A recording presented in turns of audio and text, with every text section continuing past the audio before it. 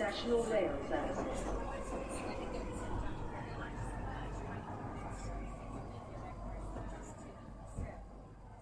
Bine ai revenit în stația Londra. Eu sunt Manuel Cheța de la manuelcheța.com și tu asculti podcastul Un român în Londra.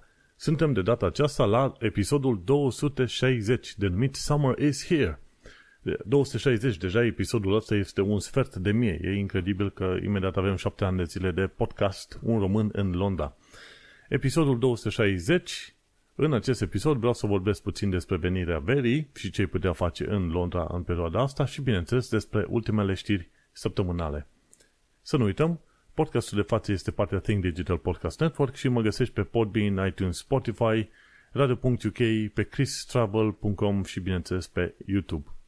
În continuare, fac recomandări de cărți, citesc Live Wired, pare că deja sunt luni întregi de când tot citesc cartea asta, dar o citesc doar când sunt uh, în metrou, navetă, și am uh, început să citesc o carte nouă denumită Richer, Wiser, Happier de William Green. Este, de fapt, o carte de investiții. Te învață cum anumiți oameni investesc și ideea generală în jurul investițiilor este unu, să înțelegi în ce investești, doi, să te informezi foarte mult și trei, să ai răbdare extraordinar de mare. Dacă cumperi acțiuni la o firmă acum și te aștepți ca într-o lună să ai un return, un venit, ceva de pe urma asta, sunt șanse foarte slabe ca asta să fie adevărul. De obicei, durează șase luni, un an, doi, trei ani de zile, până când ajungi să ai un câștig de pe urma asta. De cele mai multe ori, pentru cei mai mulți oameni, oameni, dacă tot vor să investească în uh, piața de acțiuni, de ce nu să investească într-un index fund, index tracker sau index ETF? Și atunci asta o să-i ajute. Îi se zice whole market index, ceva de genul ăsta, pentru cei mai mulți oameni. Dar eu sunt pasionat, mă interesează, vreau să văd dacă reușesc să investesc în uh, stock market și durează un timp până când mă conving dacă sunt în stare sau nu sunt în stare. În continuare vreau să laud o mână de oameni faini, sunt cei de la ROE Hub, The Romanian and Eastern European Hub, se ocupă de suport pentru muncă și violența domestică. Sunt cei de la 3, The 3 Million pe Twitter, care se ocupă de drepturile europenilor. Centrul Filia se ocupă de drepturile femeilor și Eclair.org se ocupă de conștientizarea problemei traficului de persoane. Patru grupuri super faine care merită toată lauda noastră. Așa cum ziceam și în titlu, uite că vine vara. Și când vine vara în Londra, în principiu, înainte, să zicem prin 2015-2016 când am venit, când se ajungea la temperatura de vreo 21 de grade, toate ziarele scriau că e canicule, e dezastru, 21, 22, 24 de grade, e extraordinar de tare și știi cum este, salvați-vă, duceți-vă munți, orice vreți voi. Acum un an, doi ani, trei ani de zile, deja temperaturile au ajuns atât de mari încât ajung liniștit la 30-35 de grade în Londra și, dar fiindcă este și o zonă umedă, îți dai seama umedă, cu umiditate mare, îți dai seama că este și sufocant. Și sunt situații câteodată extreme. Este foarte cald și este sufocant din cauza umidității mari sau nu plouă, e foarte senin și atunci apar incendii în anumite locuri. Anul trecut în estul Londrei au ars, cred că vreo 10-15 case și e posibil ca asemenea fenomene să se înmulțească. Și cum uh, bănuiesc că anul ăsta va fi la fel ca anul trecut, vara va fi fără prea, mult, fără prea multă ploaie și destul de multă căldură. Bineînțeles, vor fi probabil chiar câteva săptămâni în iulie-august când va fi extraordinar de cald și o să transpirăm cu toții pe aici de nu mai putem. O să fim bucuroși să fim la birouri, pentru că acolo probabil va fi aer condiționat. Dar uh, dacă vrei să te bucuri de zone verzi și faine și, cum îi zice, înflorite, du-te în perioada asta a lui uh, mai, poate o perioadă din iunie o să mai găsești, pentru că dacă vin căldurile așa cum a venit în anii precedenți, o să fie, în multe locuri o să fie iarba foarte uscată și nu o să mai fie așa de simpatic. Așa că ai timp în luna asta mai și puțin din iunie să te bucuri de tot felul de parcuri, grădini, flori, pomi, cât se poate de multe, cât se pot de multe lucruri verzi și faine. Și, sincer, înainte nu era, să zicem, urarea asta, ca să zic așa, dar urarea sau avertizmentul ăsta, dar acum simt nevoia să îl fac pentru că vara deja se face din ce în ce mai dificilă, mai urâtă, mai caldă și mai sufocantă și atunci oamenii vor suferi efectiv. Și îți dai seama ce înseamnă să fie foarte cald și să mergi cu metoul în perioada asta. Acolo să vezi distracție mare. M-aș fi bucurat că, de exemplu, Elizabeth Line are aer, aer condiționat și poți să faci naveta în liniște. Numai că aerul condiționat din Elizabeth Line chiar nu face față. Când e plin ochi, când toată lumea e ca sardinele acolo, aerul ăla condiționat, dacă există și funcționează, nu, nu, nu se simte că lucrează, efectiv. Așa că speranța mea mare cu Elizabeth Line, dar pe perioada de vară nu există. Din păcate, când se înghesie toată lumea pe acolo, o să vezi că nu o să poți respira.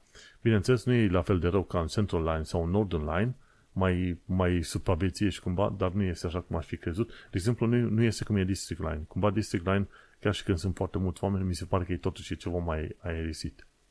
Vezi, îți faci probleme din asta când vine vara, dacă e un loc suficient de aerisit, dacă poți să supraviețuiești acasă, dacă nu cumva o să fie prea cald și o să ți geamul deschis toată ziua și toată noaptea, ca să te mai poți răcori. Dar uh, asta e epoca și era în care trăim în momentul de față. Și ne putem aștepta să continue cu căldurile astea, care sunt uh, nițel necaracteristice pentru UK.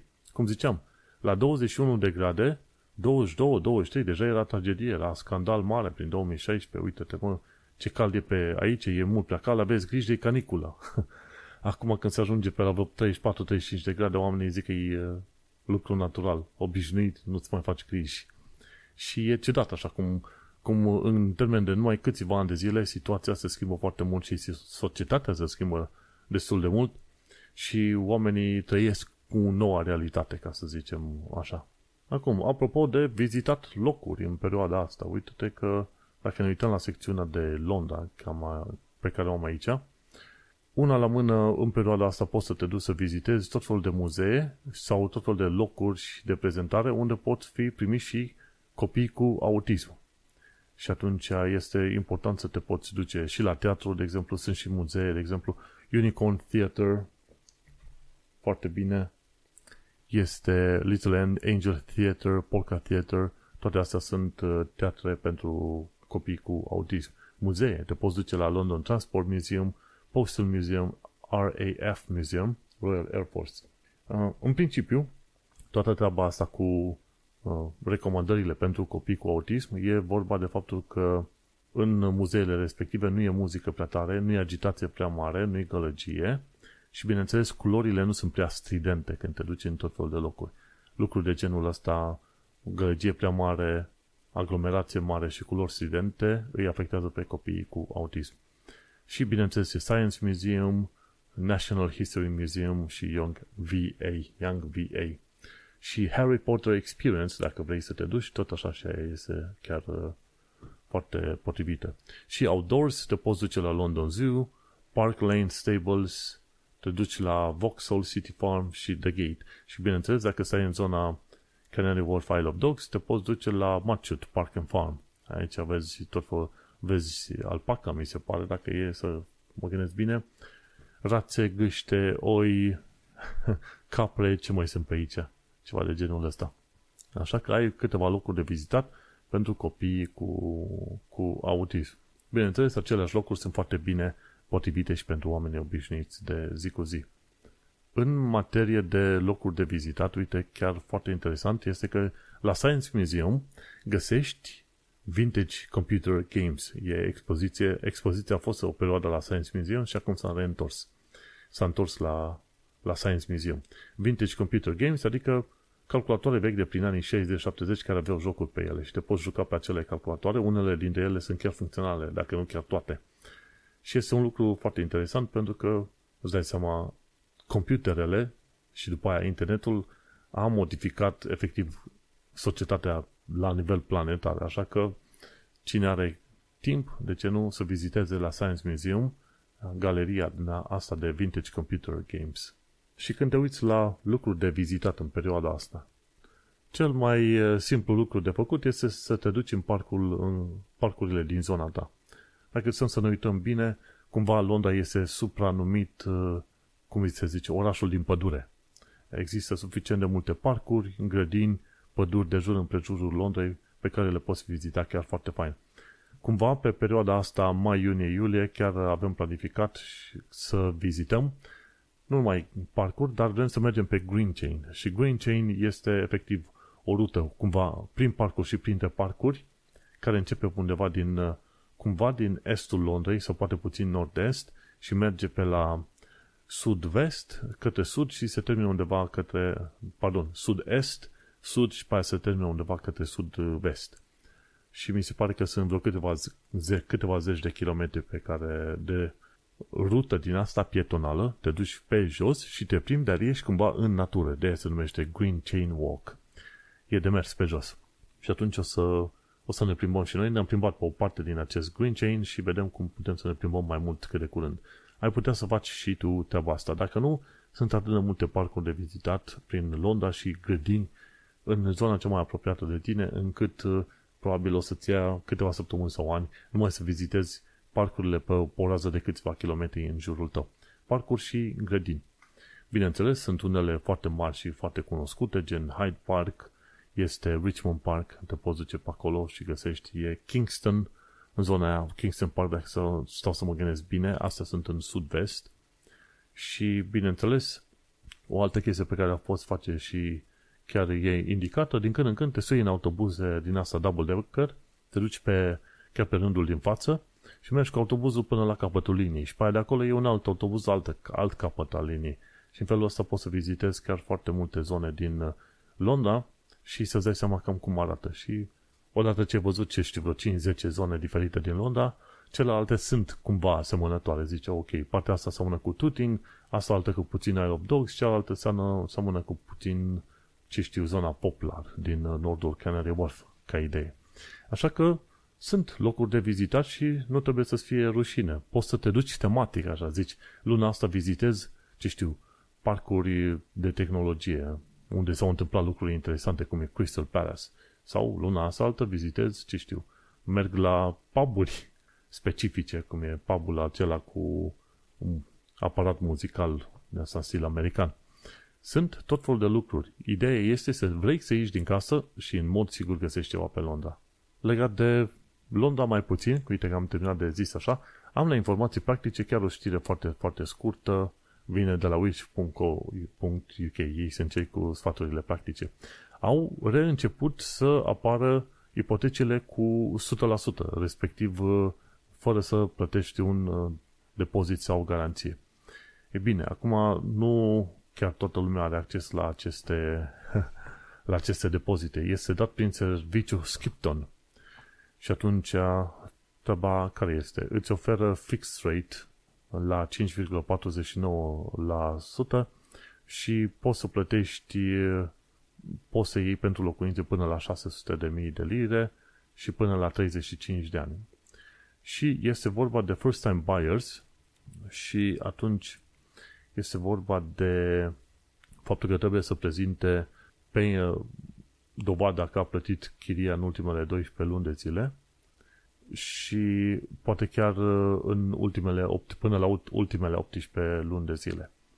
Și atunci, ideea este că mortgage-ul, ipoteca pe care trebuie să o plătească lunar, nu trebuie să depășească, să zicem, uh, chiria pe care au plătit oamenii în ultimii 6 luni de zile.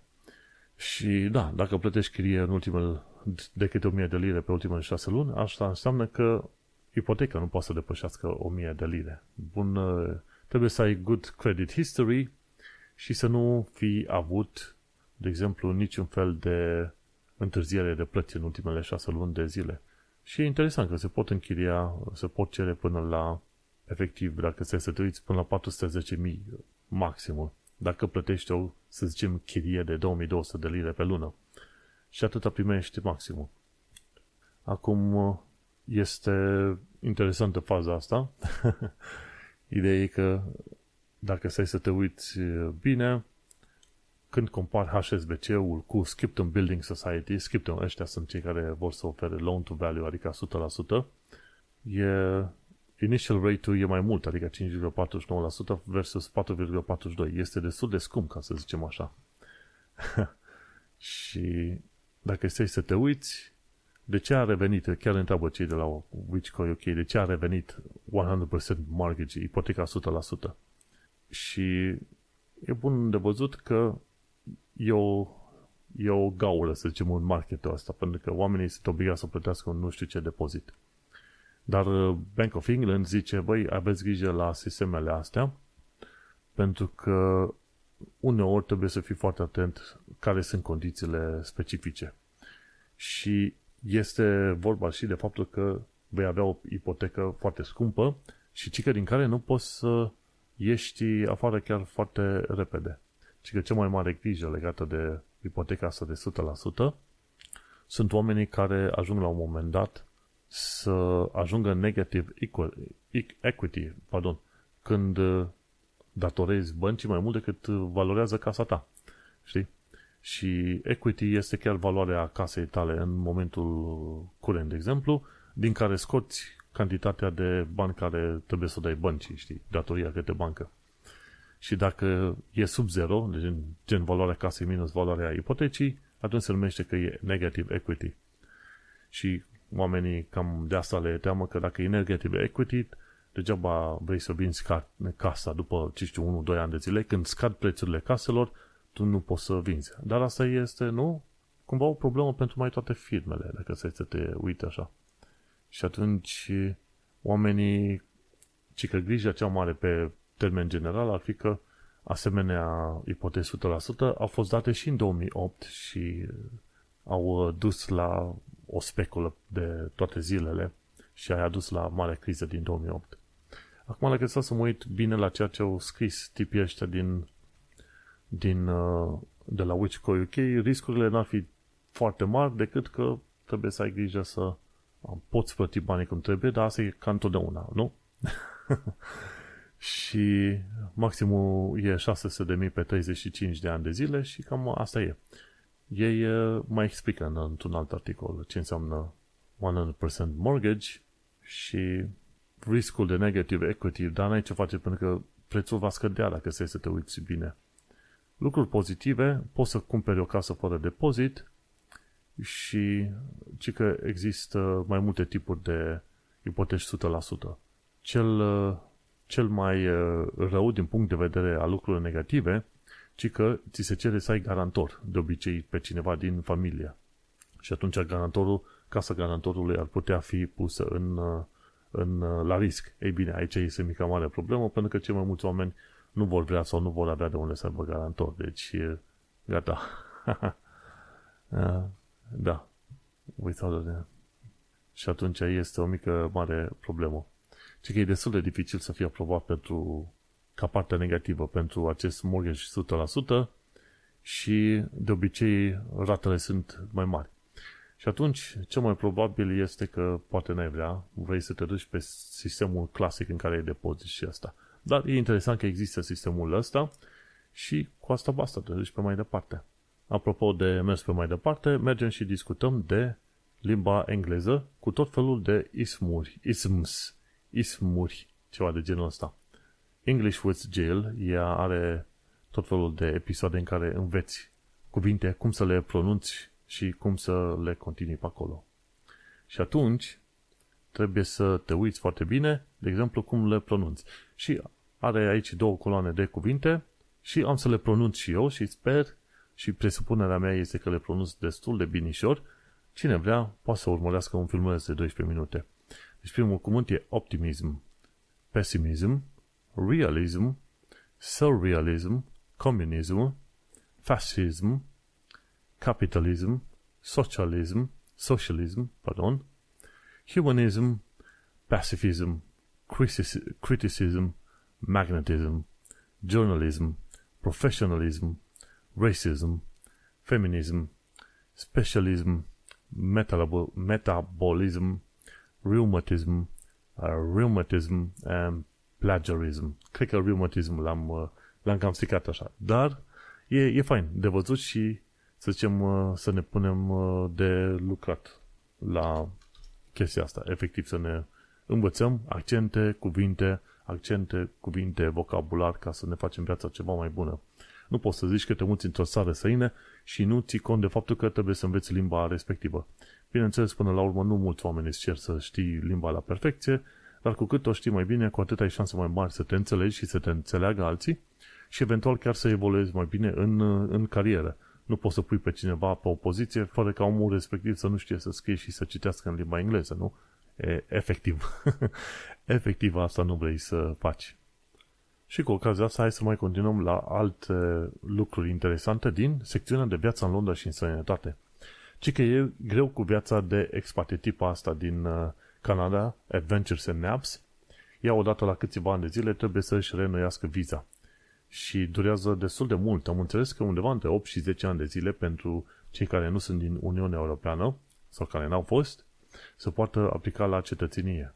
Trebuie să treacă, ce știu, vreo 7-8 ani de zile până primești indefinite leave to remain și după aia poți să aplici pentru cetățenie. Cumva, ca parte a, a Uniunii Europene, românii au putut aplica, la 5 ani de zile au putut deja aplica pentru settled status și după un an de zile după aia a putut aplica la cetățenie.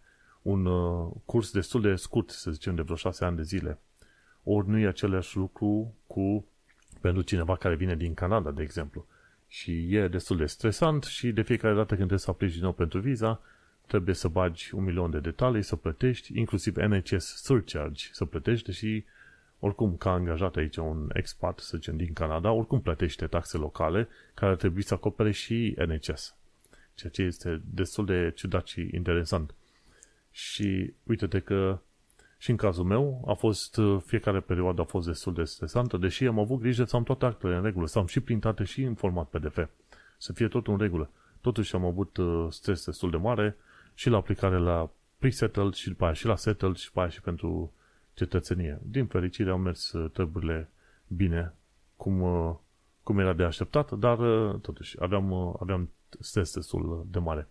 Și uite de că nu este tot, tot una pentru cei care sunt în afara Uniunii Europene și vor să aplice pentru cetățenie. Nici nu te mire că oameni din Nigeria și din India votaseră pentru Brexit. De ce? Pentru că au zis, măi, e nedrept ca ăștia din Uniunea Europeană să aibă acces la UK așa de ușor și să primească drept de muncă și ce vrei tu și noi să ne chinuim din Commonwealth. E bine să nu uităm și așa cum am explicat și lor, UK semnase tratatul cu restul Uniunii Europene. Era parte din Uniunea Europeană. Așa că, tot așa cum un britanic putea să se mute oriunde în Uniune, tot așa alții din Uniune se puteau muta în UK. Surpriză mare e că în, din 2014 până în 2020, când s-a închis toată ușa asta cu Uniunea Europeană, nu, a fost cât? Șase ani de zile în care o mulțime dintre români s-au putut muta în, în UK. Și probabil cei mai mulți au pre-settled sau chiar settled status la, la ora asta. Și așa că s-a votat Brexit, dar uite că cu ocazia asta Brexit a câștigat o sumedenie de Brexit. UK-ul a câștigat o sumedenie de români. Și un alt lucru interesant de la Tom the Taxi Driver, cărți despre Londra. Cine vrea să citească puțin mai multe despre Londra, în filmulețul lui el a pus și linkuri către Amazon, către cărțile respective și atunci cărțile astea o să dau numele lor doar. I never knew that about London. Chiar se vorbește despre viața grea a unor, de exemplu, a cercetorilor români aduși și păcăliți că vor face afere aici și de fapt sunt traficați și a românilor, de exemplu, nu numai a românilor, dar printre alții și a românilor care stau, să zicem, prin nordul Londrei, la colț de stradă la 6 dimineața și abia așteaptă să vină o după albă să ia, să-i ducă la munca cu ziua, pentru că oamenii respectivi nu au nici calificări, nu știu nici limba engleză. Și depind efectiv ca, ca la american când auzi că vin uh, rancherii sau fermierii americani cu dubele și găsesc pe imigranți, să zicem, sud-americani care stau la colț de stradă în SUA, undeva în zona de sud, ok? Și îi ia la munca cu ziua, pentru că altă șansă n-au și nu știu nici limba, n-au nici calificări. Și I never knew that about London, ca vorbește despre lucruri mai puțin știute despre Londra, inclusiv despre viața oamenilor foarte, foarte bogați. O altă carte se numește simplu Londoners sau How to Read London, e o altă carte. O altă carte interesantă e London A Life in Maps sau London Made Us, un alt titlu de carte. Blue Guide London, asta e o carte mai, cică zicea și el, mai greu de citit. The London Taxi, efectiv uh, Londra văzută din punct de vedere al uh, taximetrelor, London A Short Story și This is London. Deci tot felul de cărți. Mai devreme sau mai târziu sunt șanse mari că o să, o să cumpăr cărțile astea pentru că am podcast despre Londra, nu? Și atunci, când am șansa, o să cumpăr și eu cărțile să le citesc. Și uite, ne ajungi pe la jumătatea episodului de podcast. Aici oprim ca să trimitem secțiunea asta către Radio. unde se poate asculta în uh, data de 18 pe la vreo ora 6 seara. Deocamdată suntem în data de 16 mai 2023, era să zic 21. Și cine vrea să asculte podcastul pe mai departe, de ce nu? Să intre pe manuelcheța.com la episodul 260. Ne mai auzim. După o mică pauză, uite că mergem pe mai departe la știrile de zi cu zi. Probabil că vom avea o ediție scurtă și în episodul acesta. Nu s-au întâmplat foarte, foarte multe lucruri și cine știe, când mai avem ocazia să, mai, să ne mai plimbăm în locuri mai interesante, atunci o să am un episod ceva mai mare și mai cumprinzător. Dar de fel, prefer să țin episoadele puțin mai scurte dacă nu am lucruri foarte multe și importante de zis, dacă nu sunt, să zicem, foarte bucuros sau foarte supărat la anumite subiecte. Hai să ne uităm, se, încep să se facă verificări la milionari implicați în circum, situații circumspecte. Aici este vorba de Javad Marandi, care este un, donat, un milionar implicat în tot felul de operații, se presupune implicat în tot felul de operații din asta de spălare de bani, care este și donator către conservatori. Normal că conservatorii iubesc oamenii foarte bogați. Așa că uh, tot felul de, de oameni bogați se dau bine pe lângă conservatori ca să le, ca să le deschidă niște uși dacă se poate. Dacă se poate. Cumva, chiar discutam la muncă cu niște colegi de mei și spuneau, băi, în ultimii ani de zile conservatorii au arătat că sunt corupți pe față și chiar nu le e rușine și chiar recunosc treaba asta în mod uh, direct și li se pare foarte de mirat treaba asta. Până în urmă cu vreo 5 ani de zile așa ceva nici nu, nu se discuta în societatea britanică și aici gata, conservatorii gata, își permit să fie corupți și chiar se mândesc cu chestia asta și asta li se pare britanicilor, da? Că britanici cu britanici am vorbit. Li se pare o chestie foarte ciudată. Ce mai aflat uh, pe mai departe, la știri, e interes mare pentru cetățenia britanică, fraudă cu tați falși.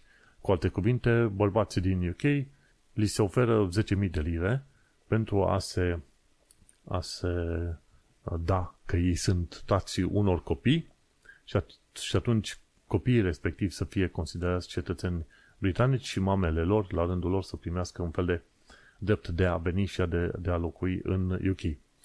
Și BBC a făcut o investigație și a reușit să afle că există un, o întreagă rețea din asta, mai ales pentru chestiuni legate de, să zicem, de asiatici, ca să zic așa.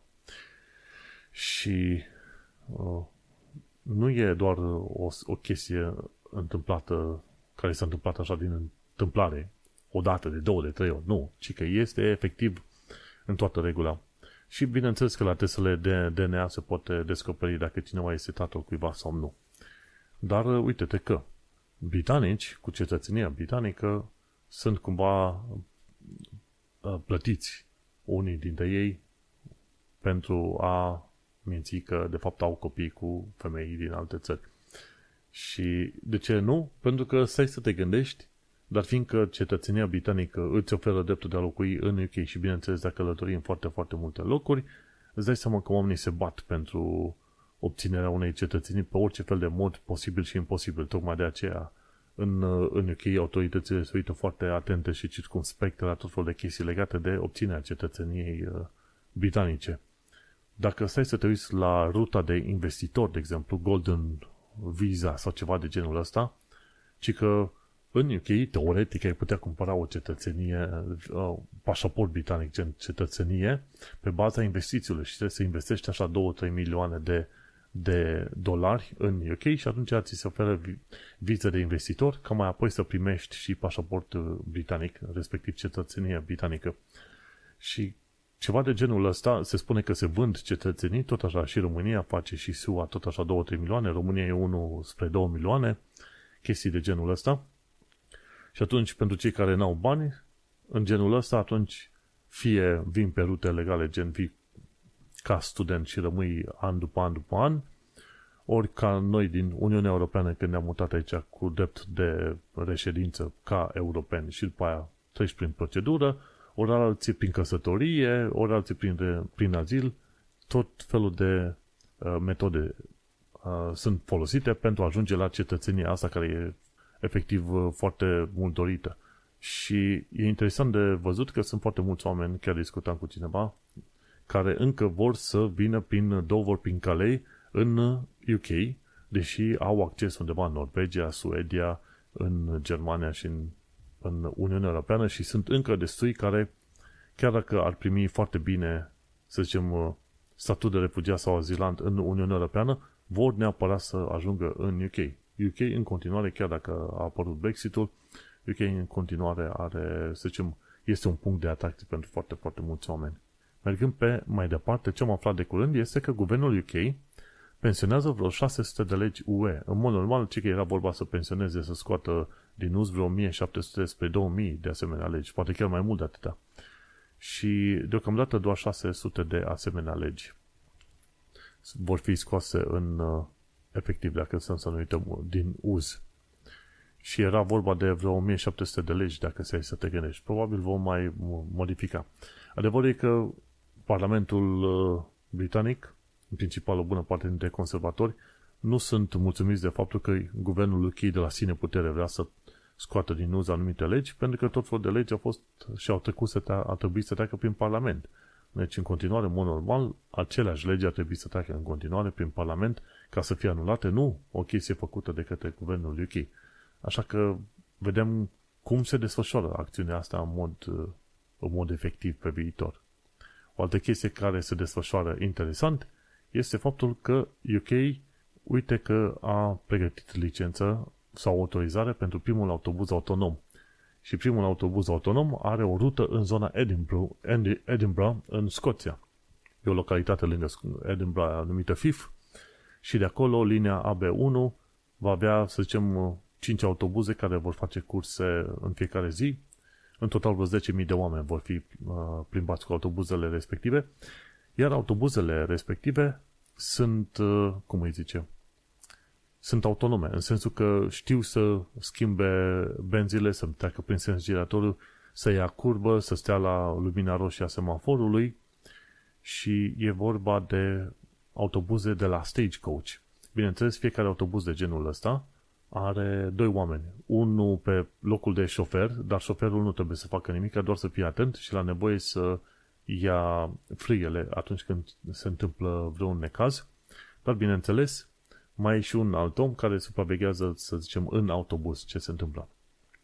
Mai devreme sau mai târziu, după ce vor fi, să zicem, transportat sute de mii sau poate chiar milioane de oameni cu autobuzele respective, atunci probabil îți dai seama vor fi mai siguri pe ei în a permite oamenilor să fie în autobuze. Noi discutăm de autobuze care circulă în trafic, în împreună cu restul mașinilor, autobuzelor, ce știu, camioanelor de pe autostrăzi. Și e vorba pe o distanță de 20 și ceva de kilometri, cu o viteză maximă de vreo 70 de km la oră. Autobuzele astea au LiDAR, radar, au GPS și, bineînțeles, camere video de care se pot folosi pentru a naviga uh, universul uh, ăsta automobilistic. Foarte interesantă chestie. Primele autobuze autonome funcționează din anii 80. Există uh, Docklands Light Railway, trenurile astea automate în Londra, care funcționează doar pe bază de buton. Apeși pe un buton și se duc singure din, de la o stație la alta. Știi să facă toată treaba asta. Dar e, una e pe căi ferate, unde nu te intersectezi cu alte trenuri, de, unde teoretic lucrurile sunt ceva mai sigure, alta este să fii pe stradă direct și să fii și pe autobuz. Este un lucru interesant și curajos, oricum, prin uh, când? 2025, undeva teoretic guvernul UK vrea să aprobe mașini mici autonome pe străzile din uh, tot UK-ul. Așa că din punctul ăsta de vedere UK este destul de modern, mi se pare comparativ cu restul Europei, ca să ne gândim așa. Ce e mai modern e faptul că, uite, supermarketurile au fost luate la rost pentru prețul mâncării și al benzinei. E tehnica aia numită Rocket and Feather. Adică prețurile cresc ca racheta, repede, dar când e vorba să revină la un uh, nivel normal, doar uh, plutesc așa frumos către nivelul normal. Și atunci, uite-te că uh, CMA, Competition and Market Authority, cred că a început deja să investigheze niște supermarketuri, nu avem încă numele lor, pentru faptul că prețul mâncării și a benzinei e ținut în mod artificial mai, mai sus decât ar trebui.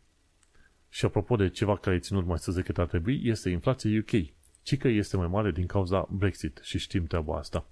Și ca motive alte mai principale, de exemplu, uh, inflația este mai mare pentru că nu, sunt, nu e suficientă forță de muncă și atunci oamenii care lucrează în momentul de față au salarii ceva mai mari E vorba de faptul că firmele de energie, firmelor de energie li s-a permis să ridice prețurile și să le țină în continuare ridicate când nu mai e așa nevoie și e vorba și de faptul că mâncarea este mai scumpă. De ce? Pentru că nu ai suficient de multă forță de muncă, pentru că Brexitul a dus la tăierea forței de muncă, în special când este vorba de chestiunile sezoniere. Așa că Brexitul în continuare afectează UK-ul și va afecta pentru foarte, foarte mult timp de acum încolo. Eu ziceam că poate în 5 ani de zile, nu. Se pare că nici în 10 ani de zile nu se vor uh, reglementa cu totul și cu totul treburile. Deci prin 2030 poate, poate o să fie mai calmă treaba. Bun, ce mai aflat de curând este că nu toți oamenii sunt fani camere Ultra Low Emission Zone. E un tip care mi se pare a distrus sau a variat vreo câteva, vreo câteva zeci de asemenea camere. Și Poliția Metropolitană investigează 96 de asemenea incidente de criminal damage. Și se pare că au reu- reușit să-l detecteze pe cineva, un anume Joseph Nichols, de 42 de ani, din zona Footscray High Street, din zona Sitka. Și mi se pare că el a distrus tot felul de chestii în valoare de vreo 5.000 de lire. Pe mine m-ar mira că numai atâta e damage făcut de el. Și atunci e posibil să primească o amendă foarte mare și nu știu dacă cel puțin închisoare.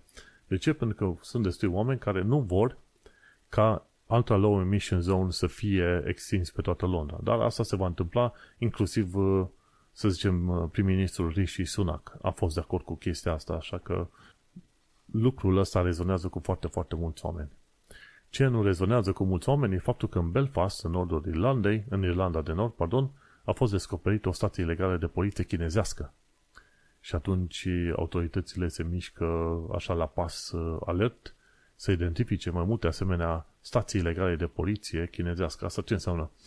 O mână de agenți chinezi hărțuiesc efectiv uh, chinezi, uh, cetățenii chinezi prezenți în țara respectivă. Și atunci ei acționează ca un fel de poliție și se duc, îi amenință, îi hărțuiesc, îi sperie, ce vrei tu, ca să-i, uh, ca să-i determine să facă anumite lucruri pe care guvernul chinez vrea să le facă. Asemenea, poliții, uh, stații de poliție chinezești au fost descoperite mai multe locuri, inclusiv în SUA, și așa că oamenii ajung să fie foarte, foarte atenți la ce se întâmplă pe acolo și, bineînțeles, să caute să-i uh, investigheze pe indivizii respectivi.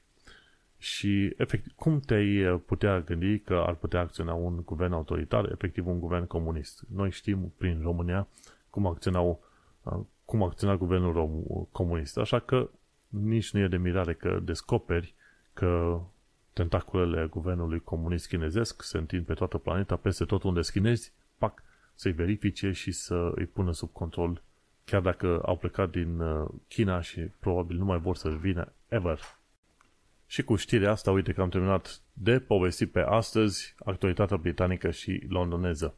Iată-ne la final de episod. Cum am zis, nu se întâmplă lucruri extraordinar de mari, când se vor întâmpla o să povestesc mai pe larg. Acesta a fost episodul 260 denumit Summer is Here. Noi ne mai auzim. Nu uita să cauți podcastul pe manuelcheța.com. Succes! Change here for National Rail Service.